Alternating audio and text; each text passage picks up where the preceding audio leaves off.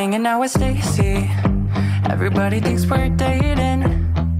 Cause I spend my weekends hanging at her house.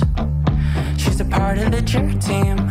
Top of her class and she's prom queen. Always study chemistry. She unbuttons her blouse. But I got a secret, I must confess. It's not allowed for the way she dressed. She's not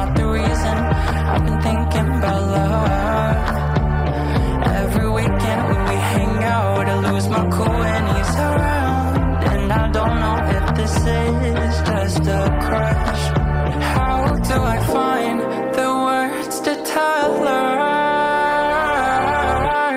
I'm in love with Stacy's brother.